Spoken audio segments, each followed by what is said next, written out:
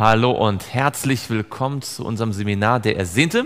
Schön, dass ihr da seid und schön, dass ihr eingeschaltet habt auf julmediatv.de oder wenn ihr später diese Aufnahme anschaut. Wir wollen heute mit einer weiteren Geschichte aus dem Leben Jesu unser Studium der Evangelien fortsetzen.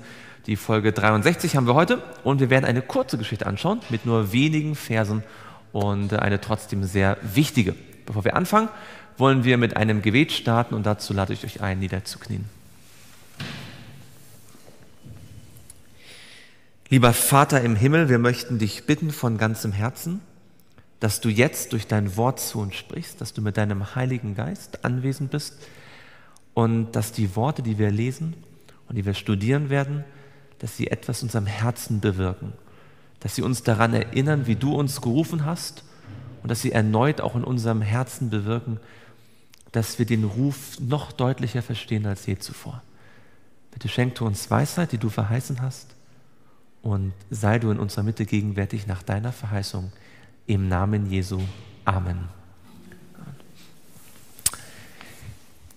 Die Geschichte, die wir anschauen wollen, kommt auch aus dem Markus-Evangelium und folgt dort im Wesentlichen direkt auf die Geschichte vom letzten Mal. Letztes Mal haben wir gesehen, wie Jesus nach seiner längeren Tour durch die Städte, von der nicht alles berichtet ist, wieder nach Kapernaum gekommen war, wie er dort im Haus des Petrus gelehrt hat und wie ein verzweifelt kranker, sündenkranker Mann sich nicht hat davon abschrecken lassen, dass eigentlich kein Platz da war, sondern wie er das Haus des Petrus hat kaputt machen lassen um direkt zu Jesus zu kommen. Und Jesus hat ihn geheilt von seinen Sünden und um das zu demonstrieren, dann auch noch von seiner Lähmung.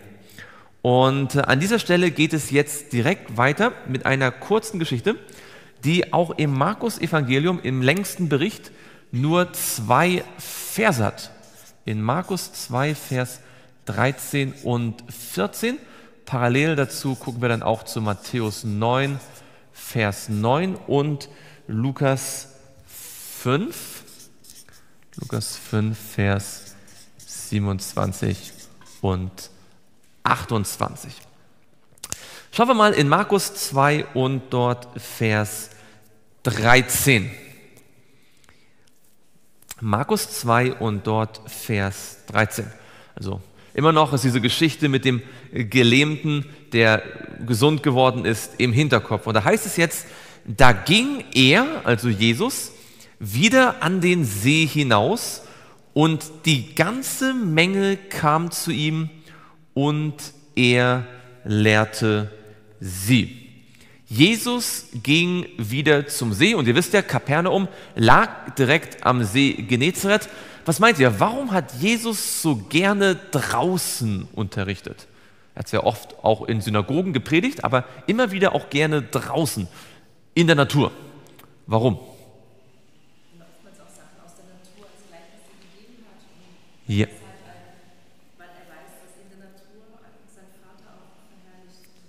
Ja, er hat also oft auf die Dinge der Natur Bezug genommen und hat Gleichnisse genommen, ja, mit dem Seemann zum Beispiel, ja, mit, mit, mit Früchten, die wachsen, mit Fischen, ähm, weil er wusste, diese Menschen, wenn sie dann diese Dinge wiedersehen, werden sich besser daran erinnern.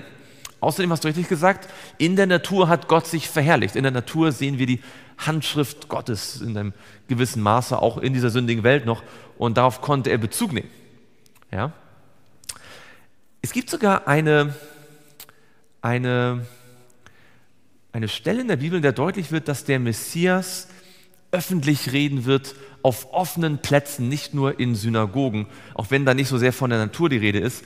Schaut mal in Sprüche da ist diese Idee, dass Jesus nicht im Geheimen oder in, in äh, verborgenen Häusern, sondern ganz offen an der, unter freiem Himmel quasi predigen wird. In Sprüche 1 und dort Vers 20, vor allem 20 und 21 gehört auch dazu. Sprüche 1, Vers 20 und 21, da, da spricht es von der Weisheit. Ja, die Bibel sagt uns in in 1. Korinther 1, Vers 30, dass Jesus die Weisheit ist. Ja, kommt auch aus Sprüche 8 ganz deutlich raus. Die Weisheit ruft draußen laut. Öffentlich lässt sie ihre Stimme hören und dann heißt es, auf den Plätzen im ärgsten Straßenlärm schreit sie, an den Pforten der Stadttore hält sie ihre Reden. Jesus hat nicht geglaubt, dass Predigen allein auf Gottesdiensträume begrenzt ist. Ja, das ist eine Erkenntnis, die sich in der Kirche dann später erst ganz spät wieder durchgesetzt hat. Ja, der John Wesley und äh, Whitefield, die haben das dann zum ersten Mal wieder gemacht. Nachdem man jahrhundertelang nur in Kirchen gepredigt hat, nur im Gottesdienst, haben die angefangen dann wieder draußen zu predigen, auch weil sie verstanden haben, dass eine Predigt nicht auf Gebäude begrenzt ist. Und Jesus hat das natürlich vorgemacht und er hat hier an jeder Gelegenheit gepredigt, in den Häusern, in den Synagogen, auf den Straßen, auf den Marktplätzen, an den Stadttoren. Wir werden gleich sehen, die Geschichte, die hier spielt, die ist eigentlich dann auch äh, mehr am Stadttor und weniger direkt am See. Natürlich in der Natur, am See, an den Berghügeln. Jesus hat jede Gelegenheit genutzt. Und wir haben gelesen in Markus, eine große Volksmenge folgte ihm. Das scheint so quasi, ja, das. Äh, Jesus ständiger Begleiter gewesen zu sein. Egal wo er gewesen ist, immer waren dort riesige Mengen bei ihm. Wir hatten das ja schon in der Geschichte zuvor gesehen. Ich war in Markus 2, Vers 2, wo es hieß, da versammelten sich sogleich viele, sodass kein Platz mehr war, auch nicht draußen bei der Tür, und er verkündigte ihnen das Wort. Das sind also jetzt wahrscheinlich viele von denen, die die Heilung des Gelähmten miterlebt haben. Ja die natürlich jetzt äh, bei jeder Gelegenheit, wo Jesus öffentlich auftritt, dabei sein wollen. In Markus 2, Vers 13, wenn es heißt, und die ganze Menge kam zu ihm, da steht im Griechischen der Imperfekt. Ich weiß nicht, wie gut eure Grammatik noch ist, aber Imperfekt sagt, dass es quasi noch nicht abgeschlossen ist, dass es also quasi ähm, immer noch voranschreitet. Die, es war quasi ein Kommen, immer mehr. Ja, es war also nicht die Idee, Jesus predigt und da kommen auf einmal 3000 Leute und stehen, sondern es kommen und kommen und kommen immer mehr. Die Idee war, die Zuhörerschaft vergrößert sich. Und genauso steht auch das Lehren im Imperfekt. Also während die Leute immer mehr kamen, hat er immer mehr gelehrt. Also quasi, das war so im Prozess. Dann heißt es, und das war jetzt natürlich nur der, quasi der Hintergrund für den eigentlichen Punkt in Vers 14. Und als er vorüberging, sah er Levi, den Sohn des Alpheus, an der Zollstätte sitzen. Und er sprach zu ihm, folge mir nach.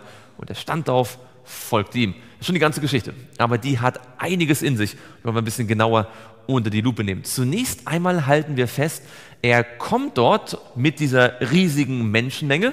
Ja, ob er jetzt zum See geht oder vom See wieder weg, ist nicht ganz klar.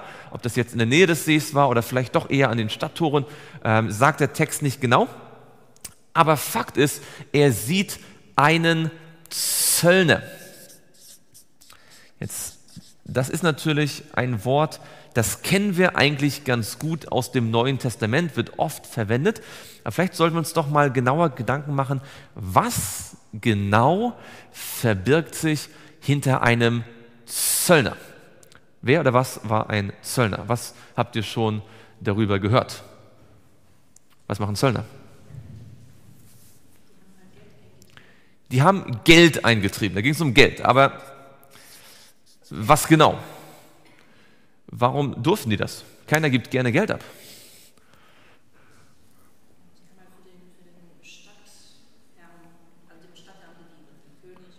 Ja, die haben irgendjemandem gedient. Wem denn genau? Wem haben denn diese Zöllner gedient? Die Römer. Und was haben die Römer da gemacht? Die Römer waren Besatzungsmacht, oder? Die, das römische Imperium hatte sich ausgebreitet natürlich von äh, Frankreich bis Nordafrika, von Spanien, Portugal bis nach Syrien und überall sollten die römischen Gesetze gelten. Und in Rom musste man Steuern bezahlen, weil von, die Römer waren damit beschäftigt, das ganze Imperium mit Straßen zu durchziehen, nicht wahr? Und auch sonst wurde viel Geld ausgegeben für Spiele und für das Kolosse, also für, für große Bauten. Und das Geld musste woher kommen? Steuern wurden erhoben und dazu gab es Zöllner. Was genau treibt der Zöllner eigentlich dem Wortsinne nach ein? Zoll.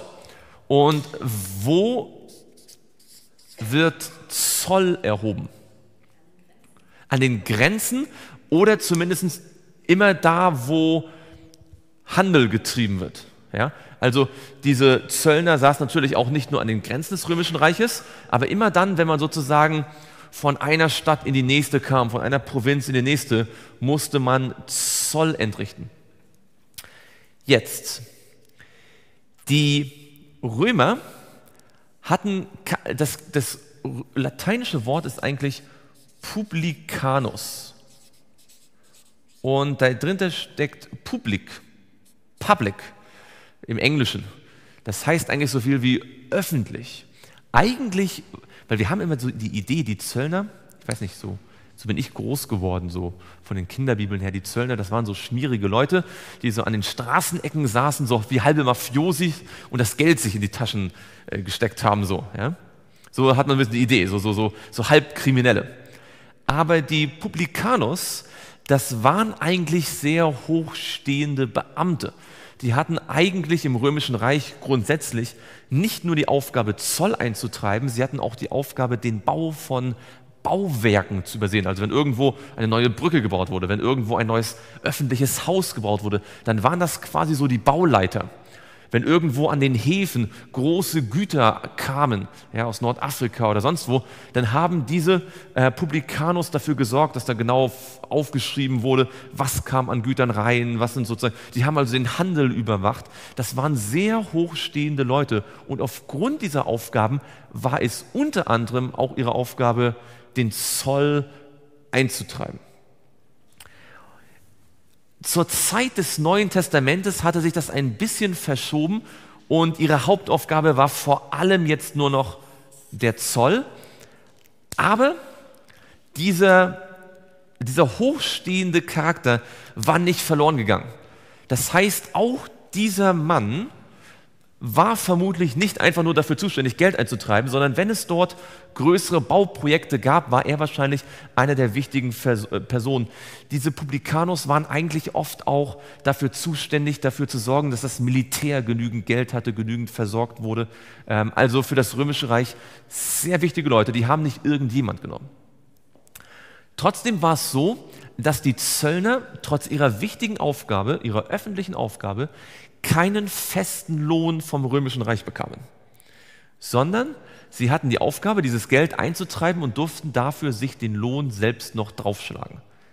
Ja, sie konnten also nach eigenem Ermessen, vermutlich, vielleicht gab es da ein paar Rahmenregeln, aber sie konnten im Wesentlichen nach eigenem Ermessen noch ihren eigenen Lohn quasi draufschlagen, damit sie auch von was irgendwas leben. Das Problem war natürlich, die Juden hassten die Römer. Jedes Mal, wenn man eine Steuer bezahlen musste, jedes Mal, wenn man sein Getreide von A nach B geschifft hat, von der Ostseite des See zur Westseite des See da Handel treiben wollte und Zoll bezahlen musste, wusste man, das muss ich nur bezahlen, weil die Römer hier sind. Das heißt, jede Transaktion hat sie an die verhassten Römer erinnert und die Zöllner waren quasi so das Symbol, das äh, sichtbare Symbol der römischen Besatzung. Noch schlimmer war es dann natürlich, wenn ein Jude Zöllner war. Denn die Juden waren ja von den Römern unterdrückt und die Zöllner trieben das Geld für die Unterdrückung ein. Wenn also ein Jude für die Römer arbeitete und das Geld eintrieb, dann hat er quasi seine, die Unterdrückung seines eigenen Volkes gefördert. Und deswegen hat man Zöllner in die unterste Schublade der, wie soll man sagen, der Wertschätzung gesteckt. Das sieht man deutlich in Matthäus. Schaut mal Matthäus 21 und dort Vers 31 und 32. Matthäus 21 und dort Vers 31 und 32. Das ist Jesus hier sogar, der spricht und der quasi die öffentliche Wahrnehmung äh, sich darauf bezieht. Matthäus 21, Vers 31 und 32. Wer von diesen beiden hat den Willen des Vaters getan? Sie sprachen zu ihm, der Erste. Da spricht Jesus zu ihnen, wahrlich ich sage euch, die Zöllner und die Huren kommen eher in das Reich Gottes als ihr, denn Johannes ist zu euch gekommen mit dem Weg der Gerechtigkeit und ihr habt ihm nicht geglaubt, die Zöllner und die Huren aber glaubten ihm und obwohl ihr es gesehen habt, reut es euch nicht nachträglich, dass ihr ihm geglaubt hättet.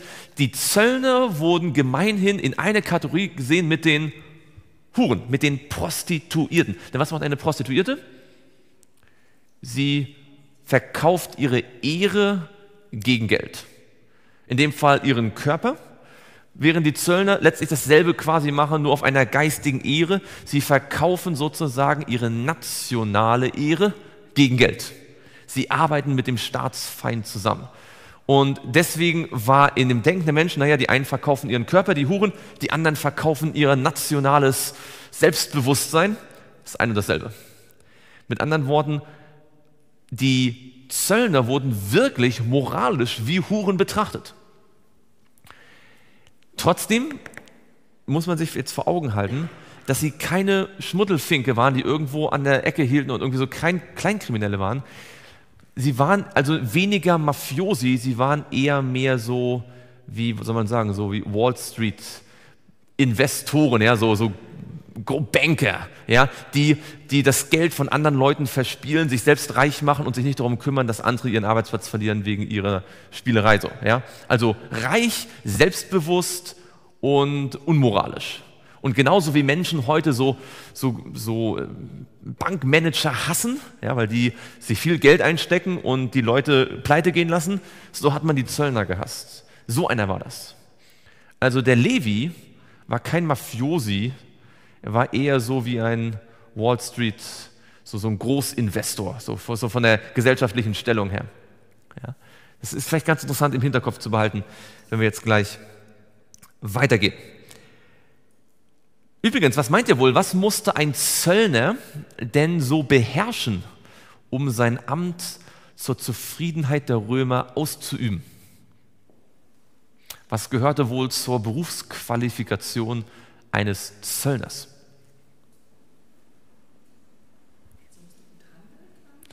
Handeln können, ja. Also er sollte auf jeden Fall nicht, er musste mit den ganzen Handelsleuten ja gut, gut zurechtkommen, ja, musste sich verstehen auf die Prinzipien des Handels und musste auch die, die, den Wert der Waren einschätzen können, ja, um auch vernünftigen Zoll erheben zu können. Also musste ein, ein wirtschaftlich äh, begabter Mensch sein. Jemand, der von Wirtschaft keine Ahnung hatte, konnte das nicht machen. Das stimmt. Was noch?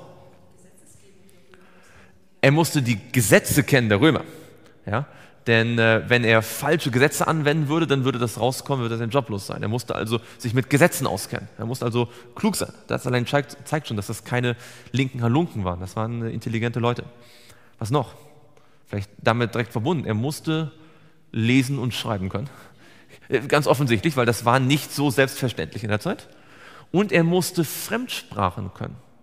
Er musste mindestens, also Aramäisch, das, das Gesprochene in der Gegend sprechen, und er musste mindestens Griechisch können, denn Griechisch war die Handelssprache im ganzen östlichen Mittelmeerraum. Das heißt, der Levi war ein kluger Kopf. Jemand, der lesen, schreiben, rechnen konnte, muss man auch mit dem Geld, nicht wahr? Jemand, der sich mit Wirtschaft auskannte, jemand, der Fremdsprachen beherrschte, vielleicht sogar Latein, eventuell mit den Gesetzen, aber vielleicht gab es die auch auf Griechisch, wer weiß.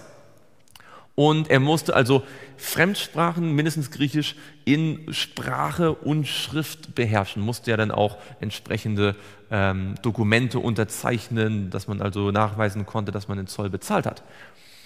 Jetzt kommt noch was dazu. Er war nicht einfach nur Zöllner, er war Zöllner in Kapernaum. Jetzt werdet ihr sagen, naja, ist doch egal. Erinnert euch nochmal, wo lag Kapernaum? Da haben wir schon was drüber gelernt in den letzten Wochen und Monaten. Kapernaum lag wo? Also es gibt zwei Antworten. Die eine ist ganz einfach. Es lag nämlich geografisch gesehen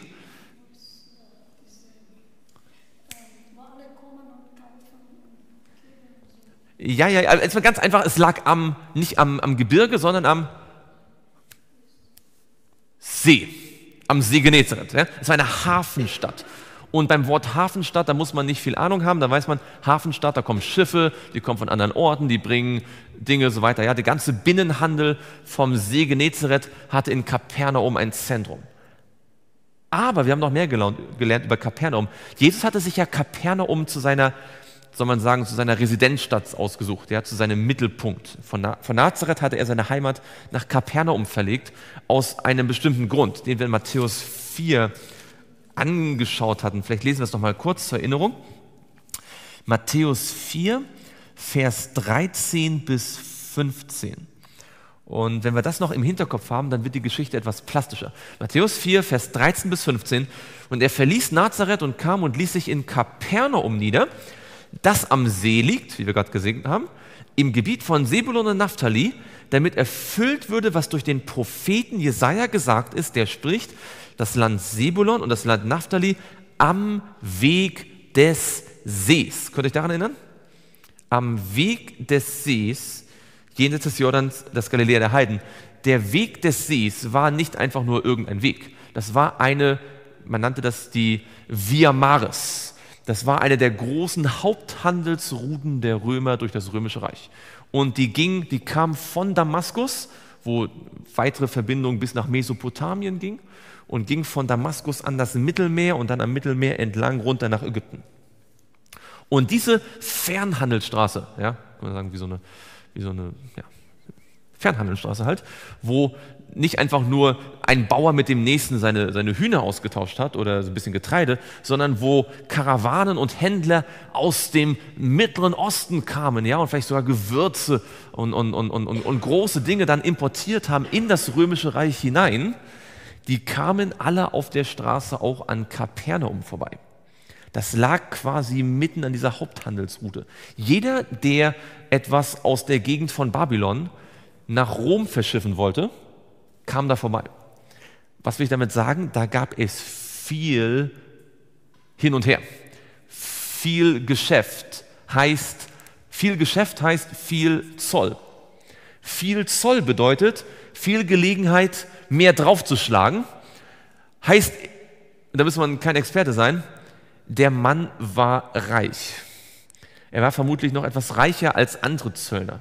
Er war vielleicht nicht der reichste Zöllner aller Zeiten, aber von allen Zöllnern, die ohnehin schon gut lebten, hatte er eine besonders lukrative Stelle. Anders als wenn man Zöllner in, sagen wir mal, Bethlehem oder in Nazareth gewesen wäre, wo jetzt nicht so viel los ist. Er hatte quasi seine Zollstation an einer, besonder, an einer Goldader. Ja. Nun, er hieß Levi. So sagt uns der Text. Und das zeigt eindeutig, dass er ein Jude war. Oder? Was heißt Levi übersetzt? Weiß das jemand von euch? Levi, Levi, Levi? Steht sogar in der Bibel, was es übersetzt heißt. Denn Levi war der wievielte Sohn von Jakob? Ruben? Ruben? Simeon? Levi, dritte, der dritte Sohn. Schauen wir kurz nach. Da wird nämlich erklärt, was es heißt. 1. Mose 29.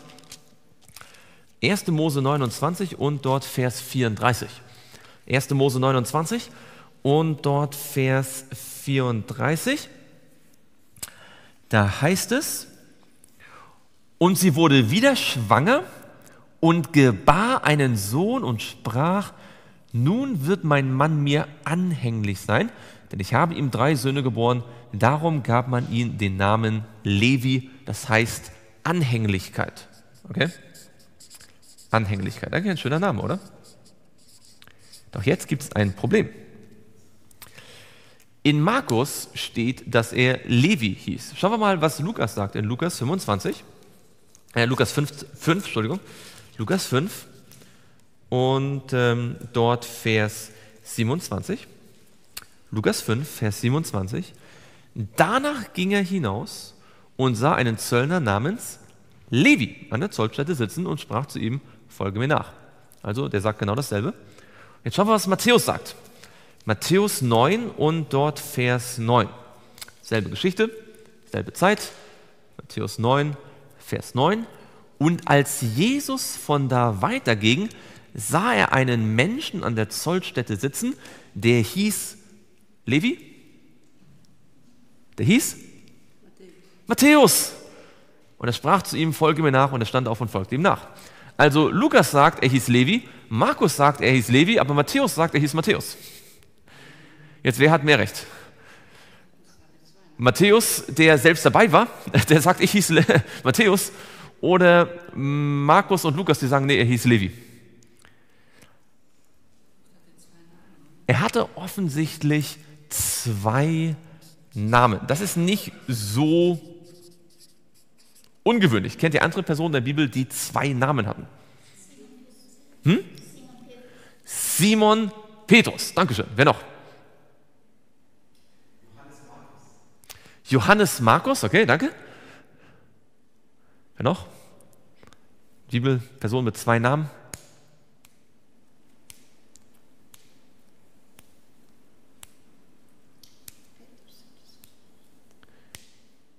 Jakob und Israel. Ja? Also es ist nicht so, und dann Jesus hat eine ganze Menge von Namen. In biblischen Zeiten war es nicht ungewöhnlich, dass jemand zwei oder mehr Namen hatte. Wir kennen auch einige biblische Könige, die unterschiedlich hießen. Ja, äh, zum Beispiel der, der Usia, wird auch Asaja genannt, zum Beispiel, je nachdem, Königen oder Chroniken. Da gibt es einige Beispiele. Interessanterweise, der Matthäus sagt von Anfang an, dass er Matthäus hieß.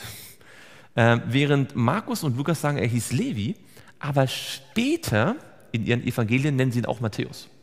Das ist ganz interessant. Schaut mal nur als Beispiel in Markus 3. Also schauen wir, der Markus, der ändert das dann später auch. Von Levi zu Matthäus, nämlich in Markus 3 und dort Vers 18, also schon ein Kapitel später.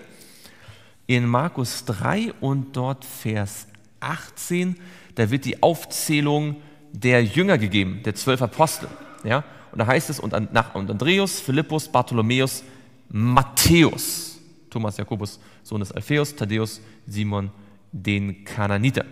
Und da seht ihr also, dass jetzt Markus ihn auch nicht mehr Levi, sondern Matthäus nennt. Ja, ja komm, also das habe ich vergessen noch, genau. Matthäus heißt, weiß jemand von euch? Matthäus ist eigentlich eine Kurzform von Matthias. Und Matthias hat auch damit zu tun, Matthias, Matthäus, das heißt derselbe Name. Mattatia ist das eigentlich, heißt Geschenk des Herrn, Geschenk von Ja. Das kommt bei Matthäus nicht mehr ganz raus, aber es ist Geschenk des Herrn oder Geschenk Jahwes. Geschenk des Herrn. Genau. Und sowohl Markus als auch Lukas nennen ihn später, nachdem er den Ruf angenommen hat, auch Matthäus. Also es sieht wahrscheinlich so aus, wenn man jetzt alles zusammennimmt, dass ähnlich wie bei Simon, der hieß Simon, kam zu Jesus und Jesus sagt dann, du wirst Petrus heißen oder Kephas. So hieß der wahrscheinlich auch Levi und hat dann eventuell, obwohl es jetzt nicht so explizit steht, aber mindestens seit seiner Berufung dann eher den Namen Matthäus gehabt. Vielleicht hat er auch beide Namen gleichzeitig gehabt. Auch, auch Jakob hat sich später immer noch auch Jakob genannt, obwohl er Israel hieß. Ähm, aber Matthäus scheint mehr sein Name zu sein nach seiner Berufung, ähnlich wie Petrus zu Simon. Interessanterweise wird auch er genannt der Sohn des Alpheus. Es gibt noch einen anderen Jünger, der auch Sohn des Alpheus hieß. Ähm, das war ein Jakobus. Und zwar nicht der Jakobus, der der Bruder von Johannes ist. Es gab noch einen zweiten Jakobus, wie ihr vielleicht gerade gelesen habt, ähm, in Vers 18 Markus 3. Jakobus, den Sohn des Alpheus. Man weiß aber nicht, ob der Alpheus derselbe Vater von Matthäus und von dem Jakobus war. Also ob die vielleicht sogar Brüder waren. Was also möglich wäre, dass der Levi Matthäus einen Bruder hatte unter den Aposteln oder ob das ein anderer Alpheus war und die beide nur einen gleichnamigen Vater hatten. Das also ist nicht ganz klar. Schauen wir zurück zu Lukas. Lukas 5, 4. Achso, eine Sache muss ich noch erzählen über die Zöllner. Schaut mal in Lukas 3, Vers 12. Lukas 3 und dort Vers 12 und 13. Das ist noch zur Zeit von Johannes dem Täufer. Da heißt es hier in Lukas 3, Vers 12, es kamen auch Zöllner, um sich taufen zu lassen und sprachen zu ihm, Meister, was sollen wir tun? Er sprach zu ihnen, fordert nicht mehr, als was euch vorgeschrieben ist. Also mit anderen Worten, die Worte von Johannes dem Täufer legen sehr deutlich nahe, dass die über die Stränge geschlagen haben, dass die viel mehr Geld oft eingetrieben haben, als es richtig war. Und das war also ein wesentliches Problem der Zöllner, wie wir jetzt also aus der Bibel sehen konnten. Jetzt weiter zurück zur Geschichte. Lukas 5, Vers 27. Lukas 5 und dort Vers 27. Es heißt da dort, danach ging er hinaus und sah einen Zöllner namens Levi. Das Griechische sagt nicht, na, er sah ihn, sondern er betrachtete ihn. Also nicht im Sinne von, er ging vorbei und sah jemanden da sitzen, sondern er schaute ihn an. Ganz genau. Die Ellen White sagt uns interessanterweise, dass dieser Levi Matthäus schon etliche Predigten von Jesus gehört hatte und in seinem Herzen eigentlich sich schon gewünscht hatte, irgendwie mehr mit Jesus verbunden zu sein. Aber er wusste, wie sehr sein Beruf abgelehnt ist bei den Pharisäern und er machte sich keine Hoffnung, zu Jesus kommen zu können. Interessanterweise eigentlich eine ganz ähnliche Einstellung wie die von dem Aussätzigen, der gedacht hat, alle anderen können zu Jesus, nur ich nicht. Und wie der Gelähmte, der gedacht hat, wer weiß, ob Jesus mich überhaupt annimmt. Und so auch der, der, der, der Zöllner. Ja? Also verschiedene Menschen in verschiedenen Lebenssituationen, alle denken sie, ich bin nicht gut genug für Jesus. Interessant, wie auch jetzt in den Evangelien diese drei Geschichten aufeinander folgen. Der Aussätzige, der dann zu Jesus kommt, der Gelähmte, der zu Jesus kommt und hier dieser Zöllner, der vielleicht von allen die weltlich gesehen beste Position hatte, aber aufgrund seiner inneren Scham sich genauso schlecht fühlt wie die anderen. Er kommt nicht mal zu Jesus, Jesus kommt zu ihm. Jesus schaut sich ihn an. Und während alle anderen nur denken, warum bleibt Jesus hier stehen? Das ist ein Zöllner. Ja, hat Jesus, offensichtlich, Jesus offensichtlich einen Gedanken. Was meint ihr? Was hat der Jesus in diesem Zöllner gesehen, als er ihn so betrachtet hat?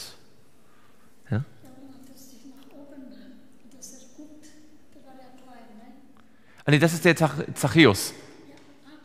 Nicht, wir sind bei Matthäus, nicht Zachäus. Zachäus war ein anderer. Der war auch ein, genau, der war auch ein Zöllner. Genau. Also ist nicht der einzige Zöllner, der Jesus gefunden hat. Ja? Ja?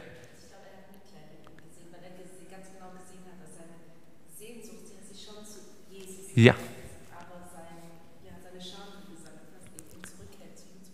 Also Jesus hat gesehen sein Verlangen natürlich. Schaut, als der Simon zum ersten Mal zu Jesus kam, hat Jesus zu ihm gesagt, ich weiß, wer du bist, Sohn des Jona, und du wirst Käfers heißen. Ich weiß auch, was deine Zukunft ist. So, Jesus schaut ihn an und er erkennt, er weiß natürlich sofort, was los ist. Ich meine, das ist nicht schwer zu sehen, ein Zöllner. Und er kennt ihn. Aber er sieht nicht nur seine Vergangenheit, er sieht auch seine Zukunft. Und in diesem verhassten Zöllner, der eben Griechisch sprechen kann und schreiben kann, sieht er gewaltiges Potenzial. Warum? Er braucht noch jemanden, der später mal alles aufschreibt, was er getan hat. Wer, ich, wer weiß, wie die schriftlichen Kenntnisse seiner anderen Jünger, die waren alle recht jung zum Teil und sehr, sehr einfacher Herkunft, wie die gewesen sind, das weiß ich nicht. Vielleicht haben manche auch später erst sich das noch richtig äh, beibringen lassen oder durch den Heiligen Geist gelernt. Aber in diesem korrekt, ah, oder was heißt korrekt, aber sehr genau arbeitenden Levi Matthäus, der genau wusste, wie man Berichte schreibt, der genau wusste, wie man auf verschiedenen Sprachen, Aramäisch und Griechisch schreibt, sah er den möglichen Evangelisten von allen vier Evangelisten ist ja Matthäus eigentlich erstmal der, der als einziger einen Augenzeugenbericht ziemlich gleich am Anfang schreibt. Ja, die anderen beiden, Markus und Lukas, waren keine Augenzeugen, die haben das dann größtenteils gehört. Und Johannes schreibt, obwohl er Augenzeuge ist, sein, sein Evangelium erst in der, ein halbes Jahrhundert später, ja, also als alle anderen schon tot sind. Das heißt, Matthäus war quasi in gewisser Weise, man könnte fast sagen, wie die offizielle Variante erstmal so. Ja, so die, ähm, und er sieht das in ihm ganz bestimmt schon und hat eine Aufgabe für ihn. Und dann sagt er sehr simple Worte. Wir haben gelesen, er sagte, ach übrigens, wenn es heißt, der Levi oder der Matthäus saß an der Zollstätte, muss es eigentlich wörtlich heißen, er saß auf der Zollstätte. Die Zollstätte war nämlich nicht eine kleine Bruchbude, sondern die Zollstätte war eine erhöhte Plattform, auf der man saß. Also mit anderen Worten, man ist da nicht vorbeigegangen und der saß da so irgendwie, wie das oft dargestellt wird, mit so ein bisschen Geld, sondern da war eine Plattform, wie eine Tribüne, wie ein Podest und auf dem Podest erhöht saß der Zöllner. Vielleicht sogar, ich weiß es nicht, vielleicht sogar beschützt, bewacht, ja, weil es dort vielleicht auch immer wieder auch äh, Proteste gab. Ja. Der saß da oben und man hat quasi eher zu ihm aufgeschaut, als zu ihm runtergeschaut. Wenn man also, zu, als Jesus also zu ihm sagte, folge mir nach, hat er nicht nur gesagt, verlass dein Häuschen, er hat quasi gesagt, komm herab. Komm herab von deiner hohen Plattform, von deiner besonderen Stellung bei den Römern, von deiner großen gesellschaftlichen Verantwortung. Komm herunter. Hier quasi da, wo die Leute gehen. Folge mir nach. Dieses Folge mir nach hat Jesus öfter schon gesagt. An wen hat er das schon zuvor gerichtet? Dieses Folge mir nach. Wer hatte schon diese Worte gehört von Jesus? Petrus Philippus hatte das schon ganz am er hatte das schon zu Philippus gesagt, ganz am Anfang, als er die Jünger erst kennengelernt hat, nicht wahr? Also die ersten Kontakte gemacht hat mit den Jüngern, hat er schon dem Philippus gesagt, das könnt ihr in Johannes 1 lesen, folge mir nach. Aber damals war das mehr ein folge mir nach, so wie zu auch Petrus, komm und sieh. Ja? Ähm, Schau es dir mal an. Aber erst vier Personen, ja? Der reiche Jüngling, ja, der, der kommt dann später, wo er dann auch sagt, komm und folge mir nach, ganz genau. Der wahrscheinlich äh, ein interessantes Beispiel dann, der, der reiche Jüngling und der reiche Zöllner Levi Matthäus. Ähm, aber bisher hatte Jesus, so sagt uns auch Ellen White, nur vier Vollzeitjünger berufen. Er hatte eine ganze Reihe von Jüngern, ja, und er hatte ja dann, einige Wochen zuvor haben wir gesehen, am See Genezareth vier Jünger berufen, die ihren Beruf aufgeben sollten. Nämlich Petrus, Andreas, Johannes und Jakobus. Die vier, die liefen bisher quasi als die Vollzeitmitarbeiter. Die anderen waren quasi alles so andere Jünger, die immer noch ihren Beruf hatten und von da zu da mal da waren. Und ansonsten Interessierte, Freunde, Fans, Anhänger. Ja? Und alle wollten natürlich gern mit Jesus verbunden sein. Ja? Und vielleicht hat sich der eine oder andere auch gehofft, vielleicht werde ich der Fünfte im Bunde. Und jetzt stoppt Jesus und ruft diesen Zöllner als fünftes Mitglied. Das hat Erstaunen ausgelöst. Nicht nur bei den Pharisäern, auch bei der Volksmenge. Ich vermute auch bei Petrus und Johannes und Jakobus und Andreas. Wir sollen jetzt, die dachten ja, das ist eine große Ehre, nicht wahr? Ein, ein Vollzeitjünger Jesu zu sein, aber jetzt war einer von ihnen fünf ein Zöllner. Folge mir nach. Für Matthäus gab es das gleiche Kriterium wie für Petrus und die anderen drei, nämlich alles stehen und liegen zu lassen. Petrus und die anderen drei, die, die ersten vier, waren arm, er war reich. Trotzdem war es für beide schwierig. Ja? Die, die arm waren, hätten sagen können, naja, wenn wir das jetzt aufgeben, wir haben Familien, die wir ernähren müssen, welche sie ja wirklich hatten, zum Beispiel Petrus, ja, da haben sie vielleicht Freunde, die sind abhängig von uns finanziell. Wir brauchen unseren Beruf. Ja. Und trotzdem hat Jesus sie gerufen. Und sie haben später nie etwas, hat ihnen etwas gemangelt. Bei ihm war die Schwierigkeit eine andere. Bei ihm war das Geld nicht so knapp, dass er, dass es ganz notwendig war, dass er es überhaupt hatte. Bei ihm war das Geld im Überfluss vorhanden. Ja, dieser, der Reichtum, die Verlockung, die Geldliebe. Für beide war es eine Krise, eine andere Krise, aber dieses Folge mir nach, egal ob wir reich sind oder ob wir arm sind, ob wir viel haben oder wenig haben, ob wir eine hohe Stellung haben oder eine niedrige Stellung, das Folge mir nach ist immer ein Kreuz. Es gibt, es gibt keine gesellschaftliche Stellung, keine finanzielle Einkommensklasse, in der die Worte Folge mir nach ganz einfach sind. Es ist immer eine Herausforderung. Ja. Ja.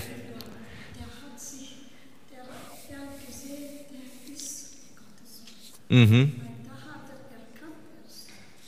Ja.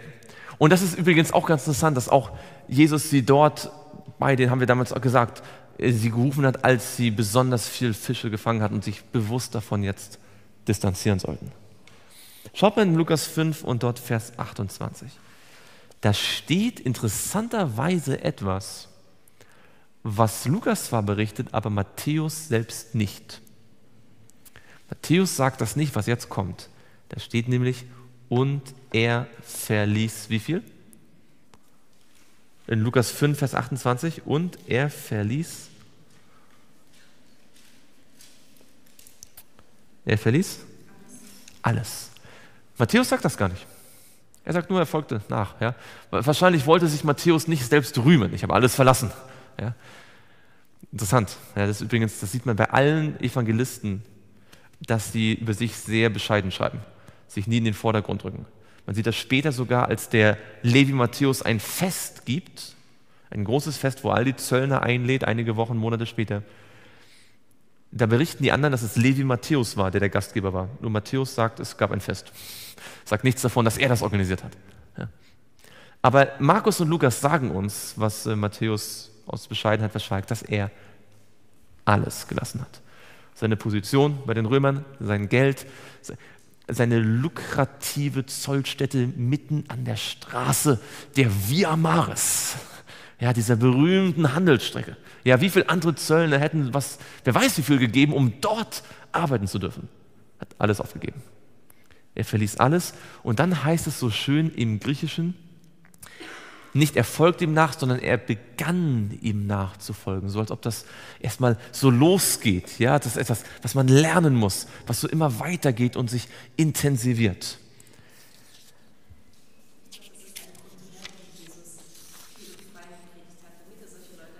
Ja. Ganz genau.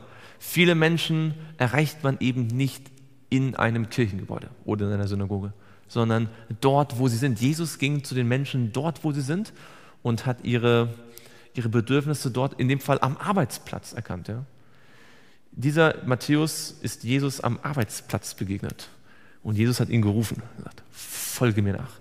Und er hat alles aufgegeben. Die Nachfolge, egal ob man gerufen wird in den Vollzeitdienst oder nicht, aber Nachfolge Jesu ist immer umfassend. Sie ist immer gründlich. Man kann nicht sagen, naja, ich bleibe ein halber Zöllner und wenn ein halber Christ. Zur Hälfte gehe ich in die Gemeinde und predige die Wahrheit und lebe das christliche Leben und zur anderen Hälfte tue ich weiter diese Sünden, die eigentlich im Gotteswort verdammt sind. Nachfolge ist immer gründlich. Nachfolge bedeutet immer, das alte Leben hinter sich zu lassen, egal wie lukrativ das war und egal wie, wie besonders die Stellung war, die man hatte.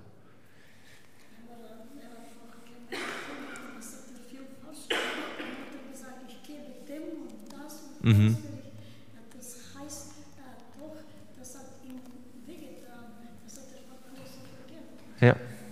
Das ist äh, sehr gut, wenn man das selber bekannt, äh, bekennt.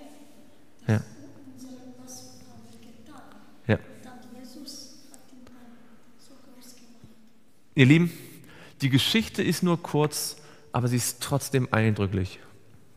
Jesus hat diesen Menschen nicht nur einfach die Sünden vergeben, sondern er hat ihn ziemlich direkt gleich mit einer großen Aufgabe auch vertraut, weil er ihn kannte und wusste, dass er diesem verabscheuten Zöllner es anvertrauen kann, einmal einen Bericht zu schreiben, der für die nächsten 2000 Jahre ein Standardwerk der Bibel sein wird.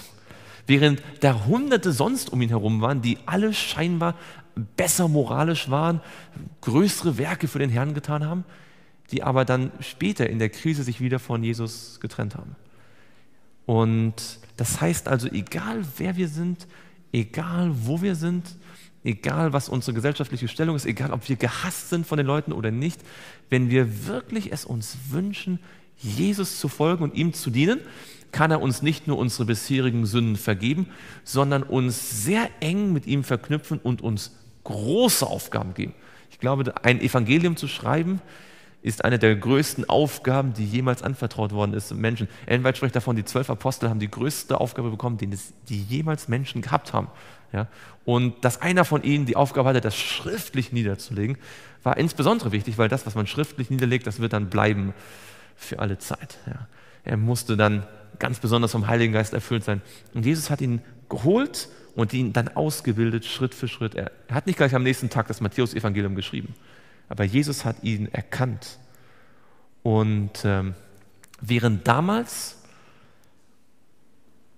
die Menschen mit Verachtung an ihm vorbeigegangen sind, werden im Himmel Millionen Menschen zu Levi Matthäus kommen und sagen, dass du die Bergpredigt aufgeschrieben hast. Er war der Einzige, der das aufgeschrieben hat. Nicht die anderen, Markus, Lukas ein bisschen, aber Johannes auch nicht. Dass du die Bergpredigt aufgeschrieben hast und dass du Matthäus 24 aufgeschrieben hast. Und Matthäus 28 mit dem, mit dem Missionsbefehl. Deswegen sind wir im Himmel. Ja? Aus dem verachteten, verspotteten Zöllner, auf den alle geschaut haben, der ihnen das Geld aus der Tasche gezogen hat, wird dann jemand sein, der für Millionen Menschen zu einem Wegweiser zum ewigen Leben geworden ist. Und das ist letztlich das, was Gott mit jedem Einzelnen von uns tun kann. Wollen wir ihm nicht dafür danken und uns ihm von ganzem Herzen zur Verfügung stellen, dann lasst uns auch beten und ihn da knien.